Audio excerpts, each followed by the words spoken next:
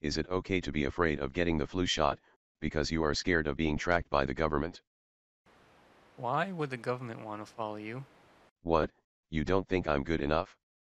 You don't think I want to be noticed and then complain about it later? I have the right to contradict myself, like not wanting to go to that party and then being upset that I didn't get invited. How could they not invite me when I want to be left alone? You can't have both, you know that. Yeah but it's like when I went jewelry shopping the other day and it was so hard getting through all that concrete and steel. But luckily I figured out how to phase shift, which made things a lot easier.